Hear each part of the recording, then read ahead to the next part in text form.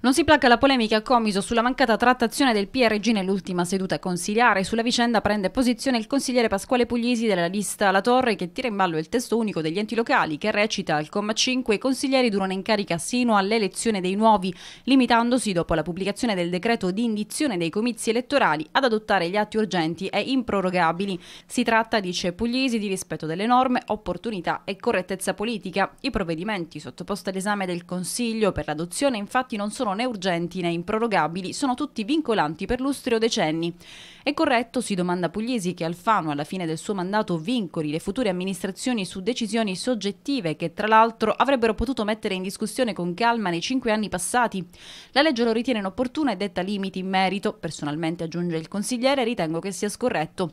A maggioranza il Consiglio Comunale ha deliberato di soprassedere all'adozione degli atti per evitare, aggiunge, in osservanza della citata norma, di imporre alle future amministrazioni vincoli che potrebbero condizionare le scelte amministrative.